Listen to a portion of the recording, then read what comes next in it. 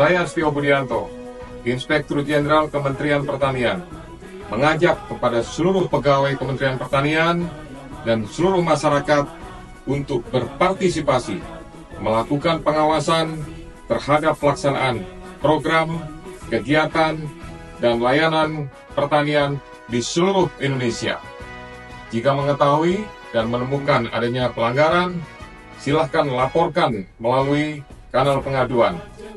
Whistleblowing System, BPS Kementerian Pertanian, Mas, aplikasi SP4N Lapor, dan nomor WhatsApp si Intan 0811 12 12 2023. Kami akan tetap menjaga kerahasiaan para pelapor.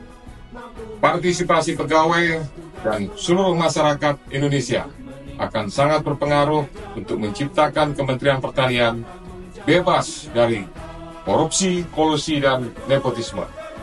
Terima kasih.